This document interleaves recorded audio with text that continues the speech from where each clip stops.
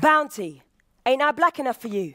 Bounty, don't have the same type friends as you. Bounty, didn't grow up in a inner city. Bounty, what is your problem with me? Bounty, you say because most of my friends be white. Bounty, because I don't pray and I don't fight. Bounty, so then where do I fit in? Bounty, because it seems I just can't win. Bounty, so what's it mean to be black? Bounty, you think that I ain't got your back? Bounty, I am black and I am proud. Bounty, don't need to prove or say it loud. Bounty, just because you think I don't act right. Bounty, you think I act like I am white. Bounty, my skin and history's all I need. Bounty, I can't fake that, I can't deceive. Bounty, I'd never try to, never hide. Bounty, I wear my melanin with pride.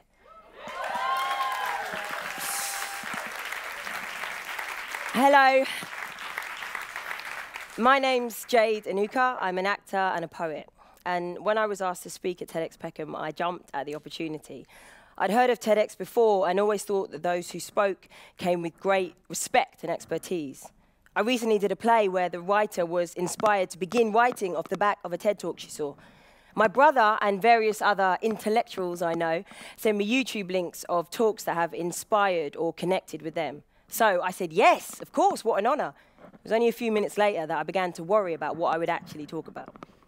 Well, I have and have so much to say, but often use the medium of poetry to say it, or actions. I find that personally, my actions can say so much. So I began with a poem and will perhaps end with a call to action. Black Panther was a landmark film. It showed for the first time a black led superhero blockbuster film with powerful, not restricted to just the domestic and romantic women, set in Africa. Little black boys and black girls had heroes they could look up to, imperfect leaders that looked like them. Aspiring actors, designers, directors could aim higher than maybe they ever imagined. These Disney princesses weren't growing up aspiring just to marry a man and have a baby. They were scientists and sisters and lovers and jokers and part of a team to protect their home. It's something I would have loved to have seen when I was younger, something I'm so glad I got to see now. So I jumped on the hashtag Black Panther Challenge bandwagon and organised a free screening for local kids right here in Peckham at my local cinema, the best, the one and only Peckhamplex. Uh, you can follow it actually, you can find out all about it on the hashtag Black Panther Peckham. I just thought it was an important film for people to see and didn't want those without the funds or access for cinema trips to miss out. Also, young people watching it in a room full of their peers has that extra special added shared experience bonus. I crowdfunded the money and hope to do another screening with the next film that can inspire and boost the next generation to aim higher, work harder, and believe that the possibilities are there for them. I hope and believe there will be more films, more TV shows, more plays, more positive media presence of those deemed other. So those made to feel other feel less alone, more included, better represented, more allowed to fail. Because the chance to fail is a chance to stand up, and stand up we must. A vote. We all deserve to have a voice, our fundamental right for choice. A hundred years ago, for some, a big step for women on how their lives are run. Their choice, their way, their vote, their right. But it wasn't got without a fight. A milestone being marked nationwide, and with every goal reached, there's another in sight. This landmark for women is progress for all, a right to vote and a chance to fall. For a chance to fall is a chance to stand up. And stand up we must, we must, we must.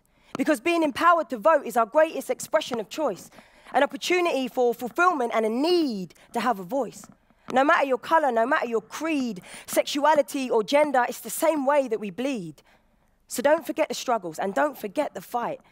But let's celebrate all women and our fundamental right to vote, to speak, to choose. Now, I was commissioned to write that poem this year for the 100th anniversary of the first women in Britain being allowed to vote. And I say the first because, as we know, it wasn't all women, just some, and not women of colour, nor women from the lower classes, not women considered other.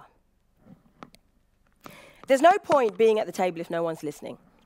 You don't need to be louder, be creative.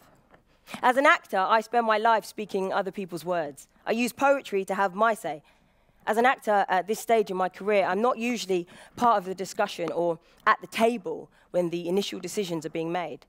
I try as much as I can to choose work that I believe in, but that's a luxury. Often being able to work is all the choice you have. So when you're given that chance, that opportunity, that seat at the table, how do you use it? What do you say when you have so much to share? Will you be judged by what you didn't say, what was left out? And if you're the only one like you there, it's as if you have to speak for all women, or all black people, or all non straight humans, all the other.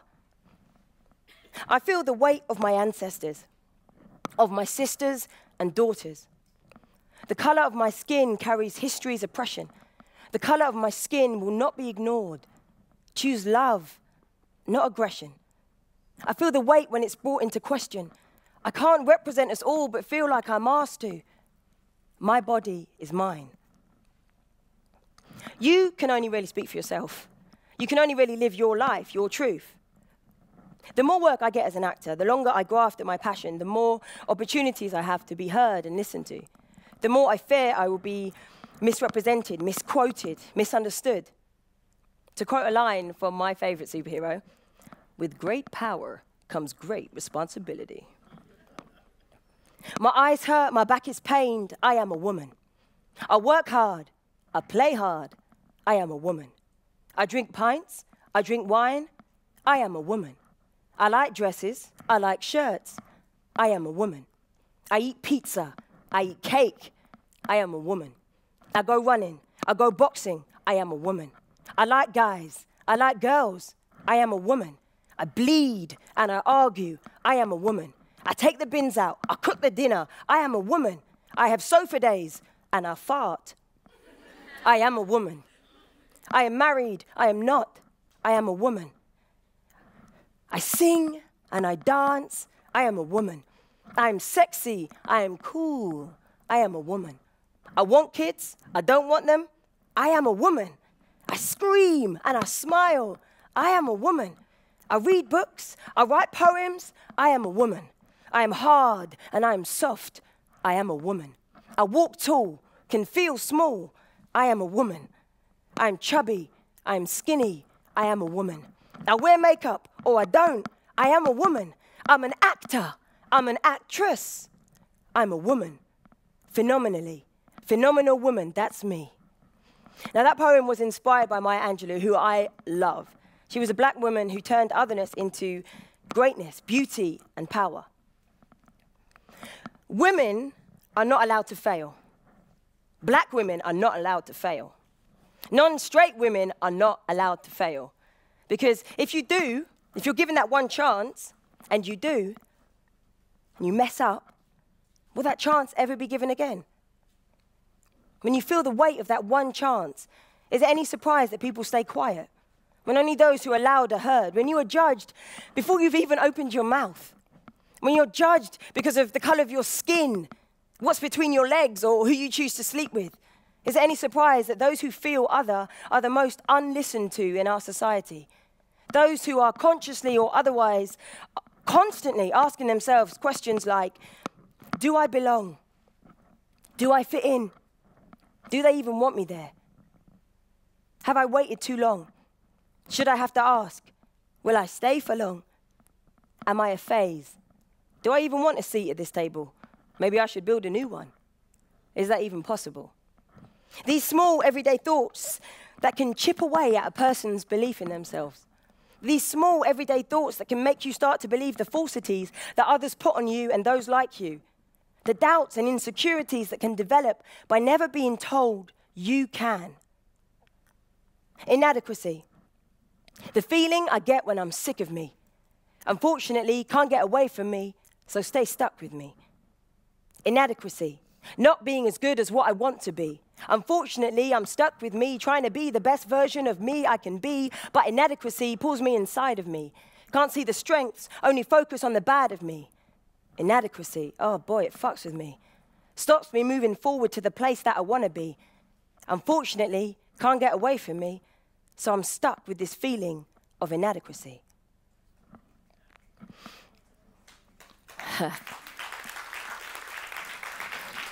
Breaking glass ceilings and being the first is great, but comes tinged with sadness for me.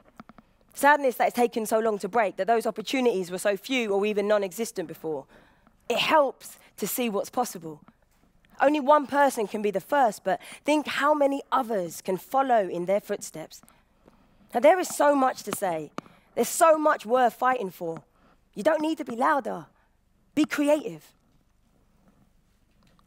I try and do it with poems. I tell them, don't diminish my feelings that were. Don't compare what was to what is now. Don't make me feel less. Don't try to shrink me. I am and feel what I am and feel. What you want me to be is your prerogative. But it is not the truth, the future, or in this case, even a possibility. Don't force your restrictions on my choices. Don't make boxes that I don't fit in, then try to fold me so I do. If you thought I'd be something else, thought I'd love someone else, thought I'd be easier to understand, thought I'd conform, I convulse at your ideas of what I should be, you are very much mistaken. I listen to my heart and follow my gut. I try to act on instinct and do what feels true. You do you, and I'll do me. Don't cage me. I need to be free. And so finally, as promised, here is my call to action. When you get that chance, that opportunity, that, that seat at the table, get creative and remember to pull up another seat for the next person. Thank you.